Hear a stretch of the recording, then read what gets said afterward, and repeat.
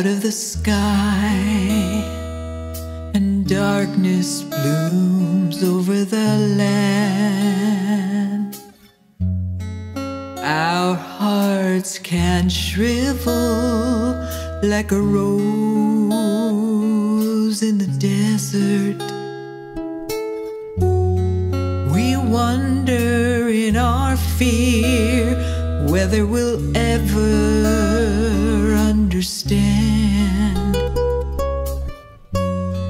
what happens to the light when the shadows take the upper hand.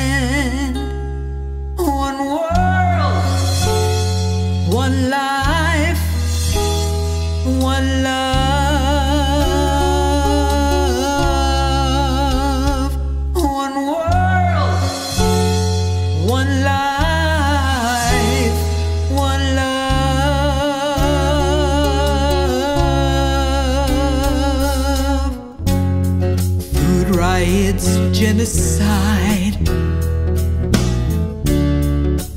or without end.